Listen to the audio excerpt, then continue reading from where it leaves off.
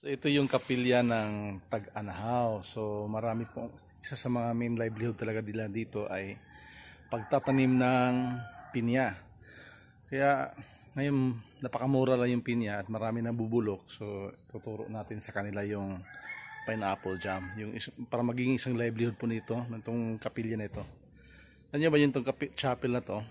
Napagawa nila ito dahil sa kanilang communal farm ah, na pinya at ito yung pinagawa nila na chapel. So ngayon, turuan po natin sila ngayon ng livelihood program paano gumawa ng pineapple jam.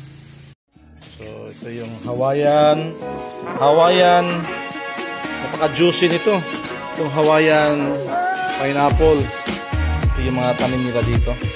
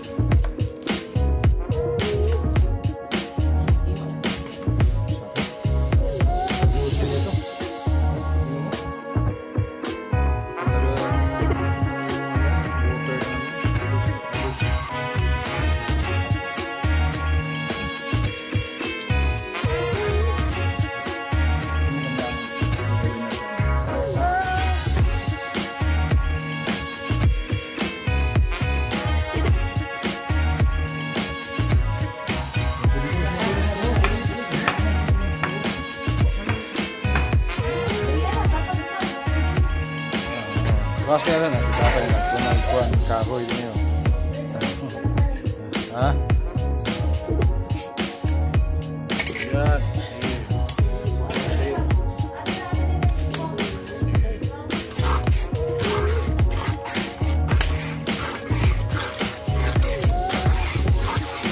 Namoy ko ano kanang iyang taklos.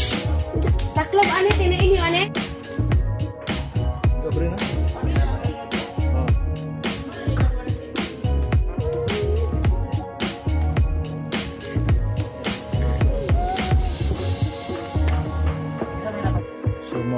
untung finish pada kedua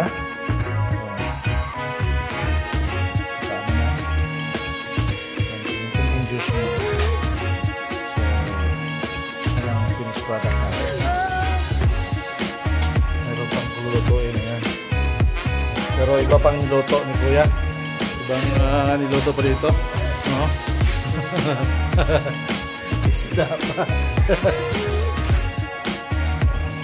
tukang bubur sebukit bukit.